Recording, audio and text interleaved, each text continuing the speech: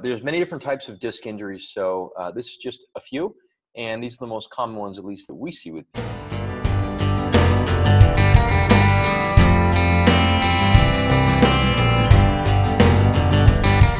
So I'm going to go into an illustration that I created right now. Um, and I created this mainly because uh, we there's there's there's a issue with uh, education out there. So I hope this would be helpful for you guys to learn a little bit about it. Now, this right here is the vertebral, vertebral body. We call it the bone area. So I didn't go uh, extremely into detail on the bone uh, and the surrounding areas of it, mainly because uh, I mean, there's there's stuff like the the vertebra back here or the actual spines of the scapula. We call it. Let's just say this is the back of the body, and let's just say this is the front. Um, these are the disc right here. Again, these are the bone, and in these little spots in here, uh, it's spongy areas, what we call them trabeculae. So the disc area is right. Let me get my pointer here. This is the disc area, or sorry, the nucleus. Right here, we have, see all these little rings around here. This is called the annular rings. Um, and these are different consistencies. These annular rings are a little bit tougher. This one we call like the jelly of the jelly donut. Um, there's many different analogies with it, but that's the most common one that you'll find. Now, this one right here, let's see, this one right here is going to be the normal one that I'm on. Um, I, the nucleus or the jelly in the center should be very centralized. It shouldn't go anywhere. It shouldn't poke out into these rings. Now, one of the most common types we see of these little disc injuries are these little tiny ones here. And these ones, uh, I just kind of say a disc injury to people to make it very general because I don't think there's a need uh, really to freak them out because disc uh, makes them freak out, it seems like. But here, what we find is that this area here, see all these little rings again? Let's get my other pointer. See all those little rings again? Hmm, let's get rid of that pointer. Okay. so, all these little rings and whatnot in here, uh, these things are, again, the annular rings. And see this little tiny spot in the center here where my pointer's at? This is the nucleus or the jelly starting to weave its way out of these fibers right here. Now, this oftentimes will present as localized back pain. Um, it will hurt a lot of times to bend forward or to the side, but it doesn't mean that this disc is completely trashed nor it's surgical at all. All the time, uh, this oftentimes happens with repeated movements. So repeated flexion. Let me write that on the side here.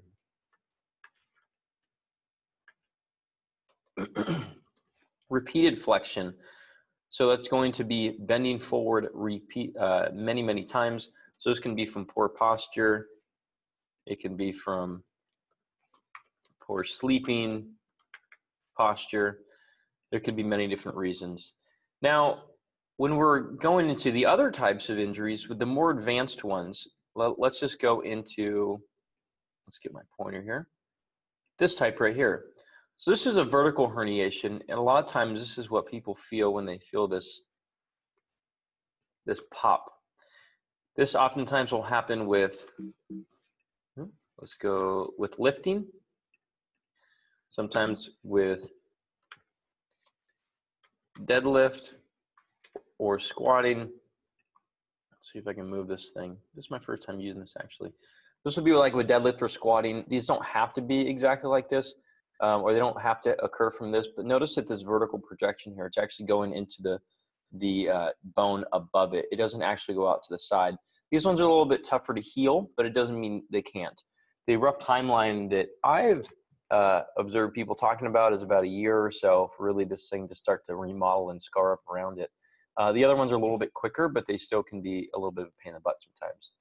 Now, I guess I should go back into uh, this one, we had the, let's move these ones. So we have poor posture, we have poor sleeping, and repeated flexion on these types right here in the middle. And then we have the other types, which is going to be this one. This one is more of like the herniation that people think about. See this little outpocketing right here, it actually has come through the actual area of those rings right into here. Now, this is more advanced. Uh, I often tell people this does not happen overnight. I actually had a friend who his dad said he had a so the MRI showed like a it was something ridiculous like a 15 millimeter herniation. I was like, how'd it happen? He's like, well, I just woke up with it. Uh, you don't really just wake up with these things. Typically, it starts as one of one of these, and it just becomes one of these over time. Uh, these ones, the goal is to the goal of care is to uh, we need to centralize Huh, I don't know if you guys are going to see that. The goal is to centralize the jelly. I'll put it down here. Centralize the jelly. If it does not centralize, it's going to keep irritating on stuff out here.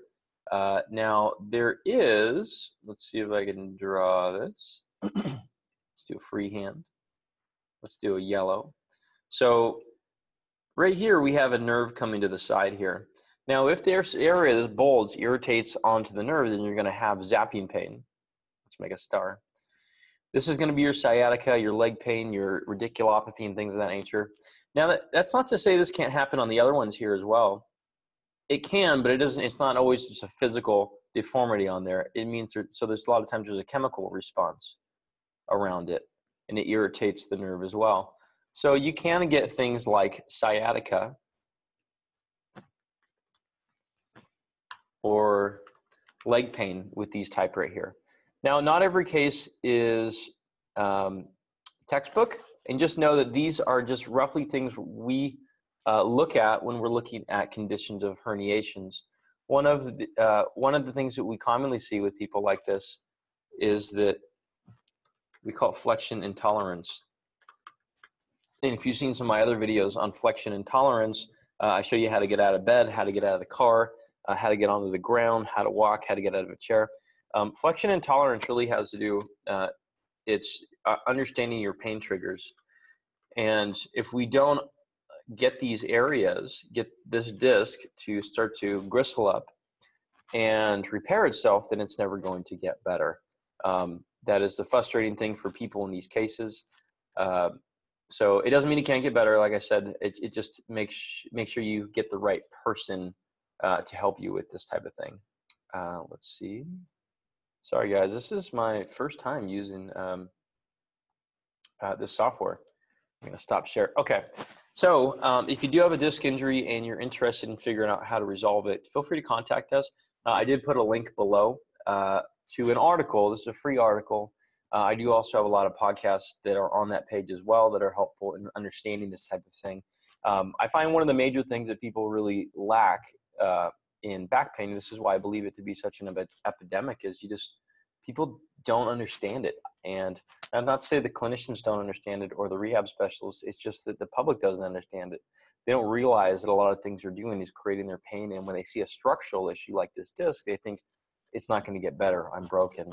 I was. Uh, it runs in my family. I'm just getting old. I mean, these aren't things that should be um, necessarily at the forefront of your mind with conditions like this. Yes, it is concerning thinking that hey i'm getting old this won't get better and maybe it was a genetic thing but a lot of times it's not it's how we use our body so if you want information on this go to the link below uh, i made a ton of information um, this article is probably 30 pages or so in just a text document and the reason why i did that is not to bore you and i tried to make it as simple as i possibly can um, but i want you guys to understand really what creates this condition i don't want to write five different articles and think that maybe you only read one. Let's just read the entire article. Let's understand it. Listen to the podcast, and you're going to get a ton out of this. Now, if you have not subscribed to the channel already, please do. Listen to the podcast as well. There also is a link in the description and share this with friends.